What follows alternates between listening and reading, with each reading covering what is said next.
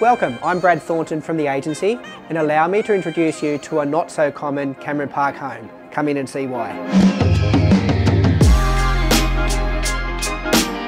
First of all, the 723 square metre block provides not just more yard space, but a better distance between neighbours, so you don't feel claustrophobic with fencing right at your door.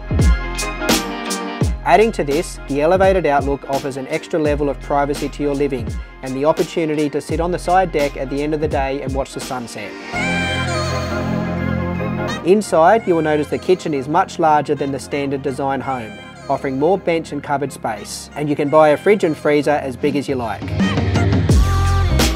At 6 metres wide, the double garage gives that little bit extra size to easily open your car door, plus have terrific storage space. Cameron Park has to be one of the best resource suburbs for family living. A new shopping centre, doctors, daycare centres and one of the best sporting complexes and playgrounds in the region are at the end of the street. Perfectly positioned to all major roads, especially if you need to get to the Hunter Valley or Sydney, living in Cameron Park will have you on your way sooner.